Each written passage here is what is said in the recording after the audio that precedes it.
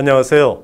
영어뉴스에서 건진 스토리를 전해드리는 윤쌤의 영건스 조선일보 영문판 에디터 윤희영입니다.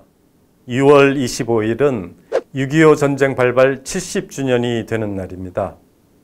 그래서 오늘은 미군 참전용사 두 분의 이야기를 해볼까 합니다.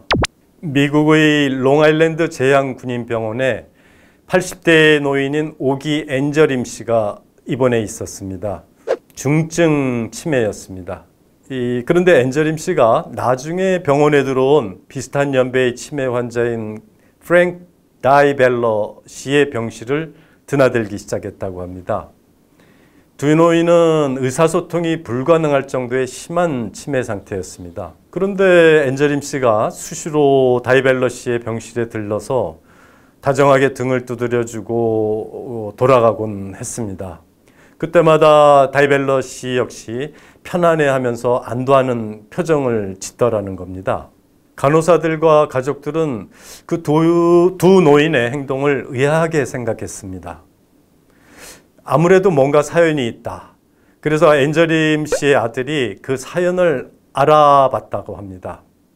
그래서 다이벨러 씨의 가족을 찾아가서 옛날 사진들을 찾아봤다고 합니다. 그랬다가 거기에서 자기 아버지 사진에서 봤던 것과 똑같은 풍경을 발견했습니다. 한국이었습니다. 그러니까 두 사람은 6.25 전쟁 때 한국에 파견돼서 같은 부대에 배속돼 있었던 겁니다. 엔젤림 씨는 위생병이었고 다이벨러 씨는 그 장병들에게 밥을 날라주던 취사병이었습니다.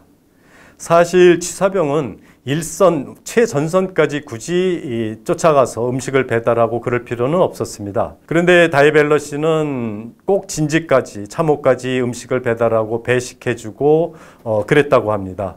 그러던 중에 폭탄으로 부상을 입었고 그 위생병인 엔저림 씨가 치료와 간호를 해줬다는 겁니다.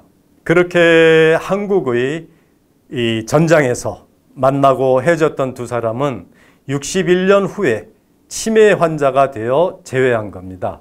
엔저림 씨는 치매로 인한, 무의식 상태에서도 다이벨라 씨를 간호하러 그의 병실을 찾아갔던 거고 다이벨러 씨는 그의 손길에 안도감을 느꼈던 겁니다.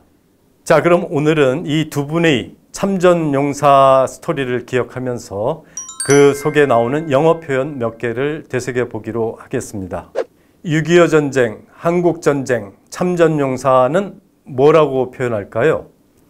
그 베테랑이라는 표현이 있죠. 예, 어느 분야의 전문가 또는 참전용사라는 뜻인데요. 이 베테랑이라는 단어를 붙여서 Korean War Veteran이라고 합니다. 베트남 전쟁, 월남 전쟁의 참전용사는 그러면 뭐라고 할까요?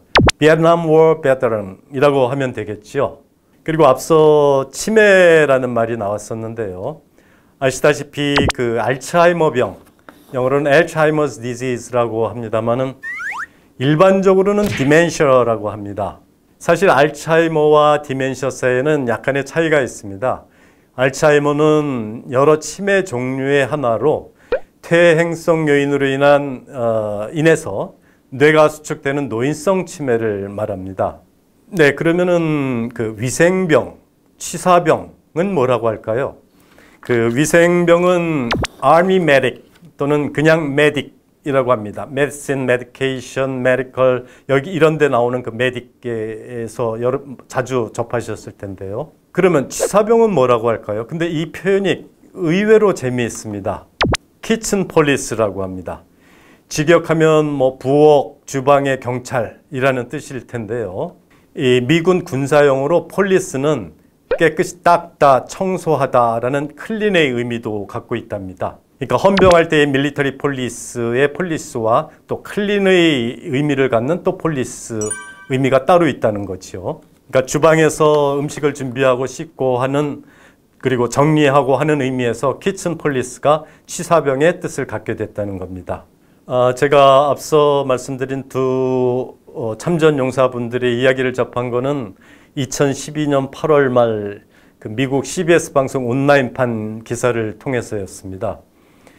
그동안 뭐 8년의 세월이 흘렀으니 어쩌면 두 분 모두 고인이 되셨을지도 모르겠습니다.